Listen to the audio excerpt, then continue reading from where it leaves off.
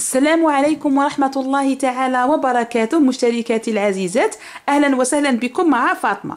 اليوم غادي نقدم لكم وصفة لي مادلين بالشوكولا اللي صنعتها في الفيديو السابق.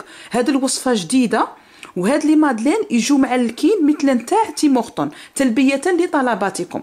العجينة اللي غادي تشوفوها اليوم ما فيهاش الحليب وفي مكان الحليب وضعت الماء. سنمر مباشرة إلى المكونات وطريقة التحضير. بسم الله.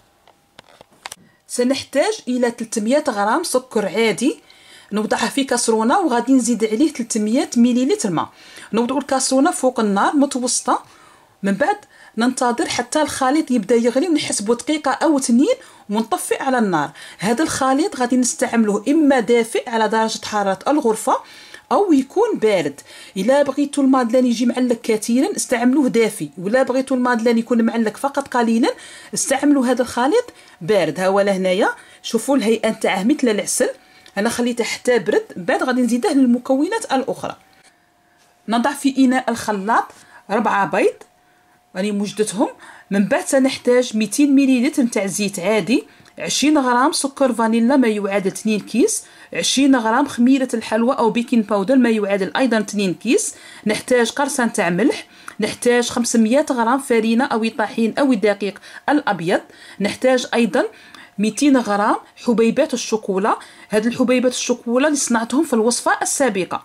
ونقدر نستعملوا عطر الليمون أو قشور الليمون. ونحتاج أيضا قرصة تاع ملح. غادي نضيف السيرو للبيض اللي راه في الإناء نزيد عليه سكر فانيلا والملح وغادي نوضعوا هاد المكونات يتخلطوا قليلا. فقط غير نشوفوا الخليط تجانس نحبسوا لأن كما شفتوا السكر راه دايب. بعد ذلك بعد ما شفنا الخليط ولا متجانس أضفت له الزيت. زيت هنايا استعملت زيت تاع كانولا تقدروا تستعملوا زيت نباتي أو زيت عادي. غادي نتركهم أيضا يتخلطوا قليلا وزدت عليهم عطر الليمون. في مكان عطر الليمون تقدروا وضع قشور الليمون أو قشور البرتقال. من بعد هنايا كي شفت المكونات تخلطوا مليح غادي نكمل باليد. هنايا وضعت الفارينه وخميرة الحلوى صفيتهم. من بعد غادي نخلطوا هاد المكونات. تقدروا تكملوا فقط غير باليد أو بالآلة تاع العجب ولا بالباتر. تقدروا الوصفة هذه أيضا تهيئوها فقط غير بالفوي بلا ما تستعملوا هذاك العجان. هنايا بعد ما الخليط شفناه تخلطوا مليح غادي نضيف حبيبات الشوكولا. وهاد الحبيبات الشوكولا كما قلت لكم حتى المادلان يطيب ويقعدوا طريين من الداخل.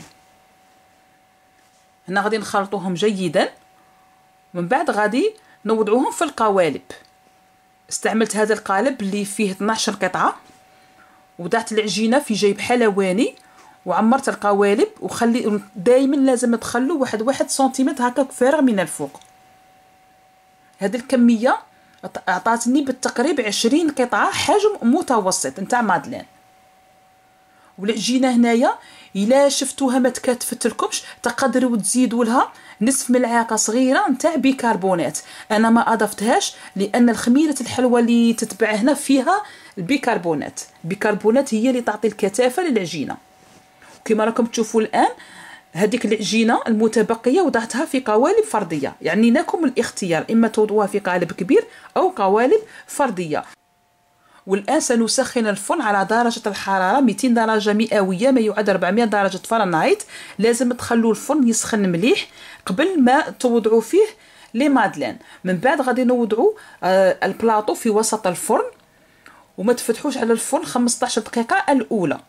حتى تشوفوهم تحمروا على هذا الشكل. مدة الطهي من 20 حتى 30 دقيقة. وهاد لي مادلين باش تحصلوا عليهم معلكين كثيرا لازم توضعوهم في علبه وتغلقوا عليهم وحتى الغدوة تستهلكوهم. غادي نفتح لكم واحدة وتشوفوا كيفاش جات من الداخل. واش هي؟ طيبة. بالنسبة لملاحظة اليوم نأكد عليها. هذه الوصفة تلبية لطلباتكم. بعض الأخوات طلبوا مني باش نحضر لهم لي مادلين كيما نتاع تيمورتون يعني هذوك اللي يجوا كي شغل معلكين ولا معجنين من الداخل. هذاك التعلق منين يجي؟ من السيرو اللي أضفناه. يعني هذاك السكر والماء من ذوبناهم. من بعد توضعوهم في العجينة.